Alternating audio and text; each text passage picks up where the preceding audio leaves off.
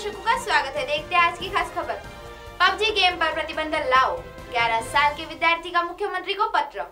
PUBG इस online game पर प्रतिबंध लाने की मांग को लेकर एक 11 साल के विद्यार्थी ने की।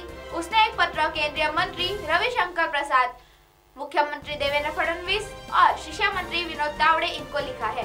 और ऐसा उस विद्यार्थी का नाम है। उसने राज्य सरकार को चार पन्नों का पत्र लिखा है। पबजी के कारण बच्चों के मन पर गलत परिणाम हो रहा है। साथ ही बच्चे हिंसक होते जा रहे हैं। और की माँ मरियम नियाज यह पेशे से वकील है। सरकार ने पत्र को गंभीरता से नहीं लिया तो फिर हम उच्च न्यायालय में याचिका दायर करेंगे। यह खेल युवा पीढ़ी के लिए घातक है, ऐसा उन्होंने कहा। तो खबरों में आज के लिए इतना है। की खबर देखने के लिए आज ही प्ले स्टोर से ऐप डाउनलोड करें।